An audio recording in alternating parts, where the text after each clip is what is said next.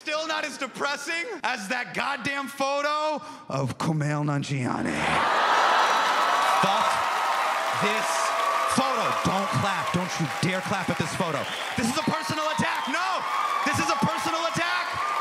When he dropped this photo, he low key tagged every brown dude in this room. Do you understand? He tagged all of us. He's like, hey, what's up, man? I'm Kumail.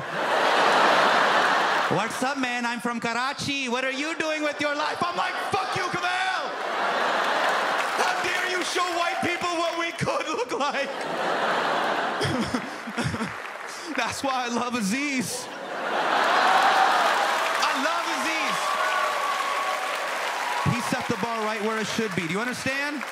Five foot two, built like a laddu. He's eating pasta all day, right? He's just like, ooh, yummy, ooh, ooh, pasta, ooh, rigatoni, yeah!